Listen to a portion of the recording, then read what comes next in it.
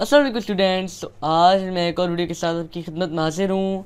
तो स्टूडेंट्स आज के इस लेक्चर में हम लोग अपने अडोब फोटोशॉप का लेक्चर कंटिन्यू करते हुए नई चीज़ सीखने वाले हैं, जो कि है pen tool okay I know कि मैंने ये लेक्चर बहुत देर पेंडिंग रखा है। हम बीच में और कुछ चीज़ें सीख रहे थे, लेकिन अब मैंने सोचा कि हम ये लेक्चर ख़त्म करेंगे ओके तो चलिए without wasting any time video को शुरू करते हैं।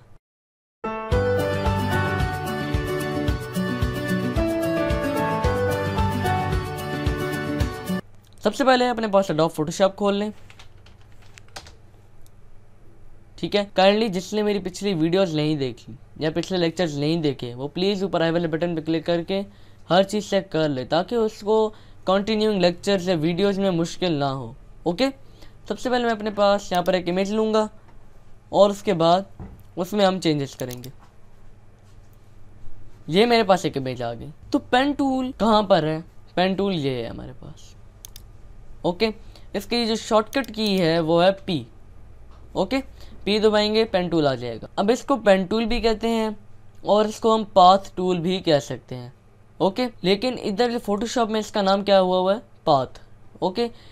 और यहाँ पर इसका क्या नाम आ रहा है? पेन टूल अब पेन टूल हमारे पास क्यों इंपॉर्टेंट होता है? पेन टूल इसलिए इंपॉर्टेंट है, क्योंकि हम पेन टूल से बिल्कुल एक्यूरेट सिलेक्शन कर सकते हैं, और वो भी अपनी मर्ज़ी की। आप देखिए कभी कभार जब हम क्विक सिलेक्शन टूल लेते हैं तो वो इतनी परफेक्ट सिलेक्शन नहीं करता। वो बहुत से मसले हमारे लिए करता है। जैसे अगर मैंने सिर्फ़ कीबोर्ड सेलेक्ट करना है तो वो कीबोर्ड के साथ साथ कुछ और एरिया सेलेक्ट करता है और फिर मुझे उनको डी सेलेक्ट करने में बहुत ज़्यादा टाइम लग जाता है। ठीक है? तो मैं ये नहीं चाहता कि मेरे साथ ये काम हो। इससे अच्छा मैं अपना टाइम बचा के, मैं डायरेक्ट ही उसको एक एक्यूरेट तरीके से सिलेक्ट कर लूँ। ठीक है? तो वो कैसे होगा? वो हमारे पास होता है पेन टूल से। अब आप देखिए पेन टूल से मैं कितने आसानी से सिलेक्शन कर सकता हूँ। मैंने ऐसे सिलेक्शन शुरू की। ये देखें स्ट्रेट लाइन ले ली। लेकिन अब एक और चीज़ है पेन टूल में। पेन टूल में आपके पास पाथ आती है, ठीक है? एक स्ट्रेट पाथ होती है और एक होती है कर्व पाथ ये देखें, ये हो गई कर्व पाथ तो स्ट्रेट पाथ में क्या है? आपके पास दो लाइन एक्यूरेट तरीके से आगे पीछे होती हैं। उनके बीच में कोई कर्व नहीं होता। कर्व पाथ जो होती है, वो है जिसमें आपको लाइन में कुछ कर्व मिल रहा है जो कि स्ट्रेट नहीं है। जैसे ये देखें, ये स्ट्रेट नहीं है लाइन ओके तो ये हो गया हमारे पास पेन टूल की दो टाइप ऑफ़ पाथ जो कि हैं straight path and curve path तो अभी मैं आप लोगों को यहाँ पर क्या बताने वाला हूँ कि अब हम इसको कैसे सेलेक्ट करेंगे? इसका सिंपल वे है कि हम इसको सेलेक्ट करें, पा, अपने इसका सिंपल तरीका है कि हम इसको सेलेक्ट करें कर्व्ड तरीके से, ठीक है? अब ये देखें मैं कैसे इसको सेलेक्ट कर रहा हूँ। जैसे ही मैंने लाइन खींची कर्व करके तो मेरे पास ये दो पॉइंट्स आ गए हैं। ये हैंडल्स हैं। हैंडल्स के ज़रिए आप लाइन की चेंजेस कर सकते हैं। कैसे? आर्ट दबाएँगे और अपने हैंडल्स के ऊपर अपना माउस लेके जाएँगे। और फिर आप इन लाइन के अंदर एडिटिंग कर सकते हैं। इसको आप बड़ा कर सकते हैं, छोटा भी कर सकते हैं। और अगर आपने इसको और एक्यूरेट करना है, वो भी आप कर सकते हैं। तो ये देखें। मैंने अंदर थोड़ी सी चेंजेस की हैं, क्योंकि मैं ज़्यादा चेंजेस की भी ज़रूरत नहीं है। ये हो गया मेरे पास। ओके अब यहीं से कंटिन्यू करते हुए मैंने आगे जाना है। तो मैंने इस पर एक दफ़ा क्लिक कर दिया है ताकि इसको पता हो कि मैं इधर से ही कंटिन्यू कर रहा हूँ। अब ये देखें, मेरे पास अब यहाँ पर जो ऊपर वाली लाइन है, ये थोड़ी सी एक्यूरेट नहीं आ रही। तो मैं यहाँ पर क्या कर सकता हूँ? मैं इधर अपने पास हैंडल का इस्तेमाल भी कर सकता हूँ। ये मैंने हैंडल का इधर इस्तेमाल किया और फिर मैंने इधर कर लिया। लेकिन अभी मेरे पास ये पॉइंट ठीक नहीं आ रहा। तो मैं क्या करता हूँ? एक स्टेप पीछे जाने के लिए आप डिलीट का बटन दबाएँगे। जो पॉइंट आपने डिलीट करना है, उस पर आप सेलेक्ट कर रखेंगे और फिर डिलीट का बटन दबाएँगे। एक स्टेप पीछे आ गया मैं। अब मैं दोबारा सिलेक्शन करूँगा। सिलेक्शन शुरू करने से पहले आप एक दफ़ा इस पर क्लिक कर देंगे। नहीं तो जब आप एक दफ़ा दोबारा क्लिक करेंगे तो वो एक नए से पाथ शुरू कर रहा है। तो हम ये नहीं चाहते। तो मैंने एक दफ़ा इस पर क्लिक कर दिया और उसको मैंने बता दिया कि मैं यहीं से कंटिन्यू कर रहा हूँ। ठीक है? तो यहाँ से मैंने ये कर लिया और यहाँ से मैंने कर्व कर लिया। अब अगर आप कहते हैं कि मैंने पॉइंट गलत लगा दिया, जैसे आपका गलती से पॉइंट यहाँ पर लग गया है तो बजाय इसके कि आप लोग ये करके डिलीट कर दें इसको, इसमें आपका टाइम जाएगा। आप लोगों ने सिंपल क्या करना है? जब भी आप अपने पॉइंट गलत जगह पे लगा दें तो सिंपल स्पेस बार दबाए रखें और इसको मूव कर दें। ये देखें स्पेस बार दबाए रखा, मैंने मूव किया और अपने पॉइंट को सही जगह पे मैं ले आया। तो ये मैंने एक सिंपल सा काम कर दिया। अब मैं इसकी सिलेक्शन पूरी करता हूँ आप लोगों के सामने।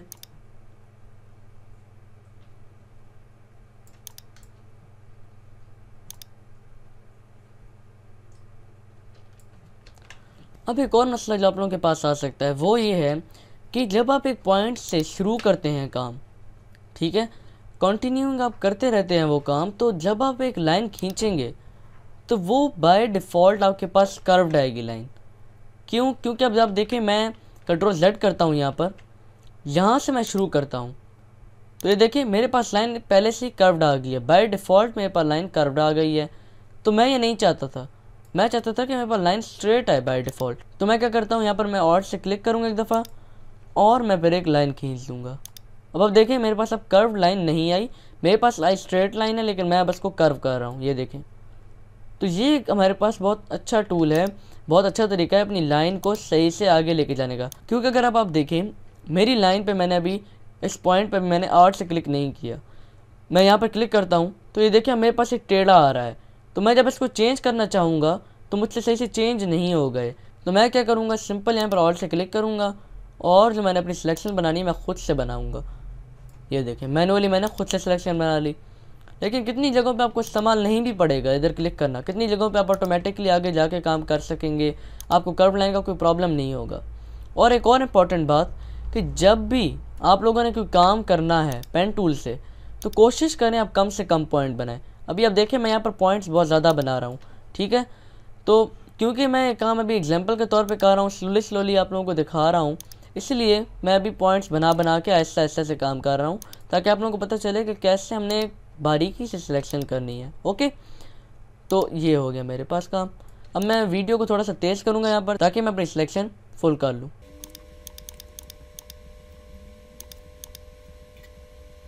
तो मैंने अपनी सिलेक्शन अब पूरी कर ली है।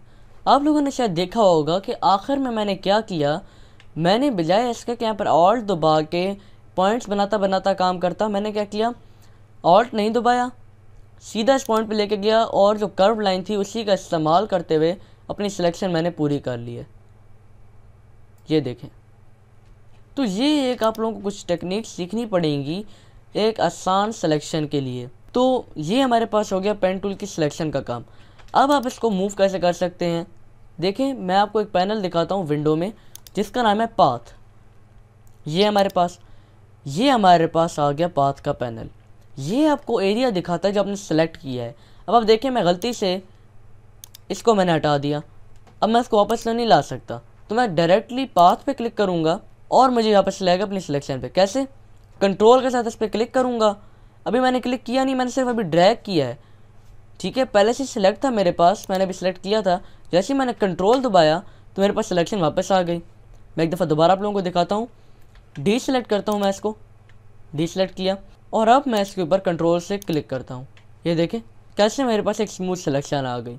लेकिन अगर आप चाहते हैं कि आपने इसमें कुछ चेंजेस करनी है, ये सिलेक्शन ठीक नहीं है तो आप क्या करें?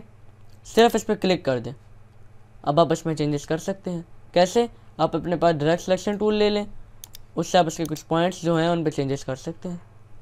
ईजी एज दैट ओके तो ये हमारे पास एक पेन टूल का बहुत अच्छा एंड इंपॉर्टेंट काम हो गया। और एक और आपको मैं टिप दे दूँ यहाँ पर, जब भी आप नई नई पाथ बनाएँ तो उनको आप अपना नाम दे दें। कैसे? जैसे अब ये है तो मैं इधर कहूँगा माउस पाथ ठीक है, मैंने इसको नाम दे दिया और ओके कर दिया। अब आप सोचेंगे कि नाम देना क्यों इंपॉर्टेंट है? देखिए, अगर इसका नाम पहले बाय डिफ़ॉल्ट वर्क पाथ था, अगर मैं कोई और पाथ इधर सेलेक्ट करूँ तो उसका नाम भी वो वर्क पाथ ही रखेगा बाय डिफ़ॉल्ट तो वो ओवर रन हो सकता है। और आपकी जो पाथ होगी पिछली, वो डिलीट हो सकती है। ठीक है?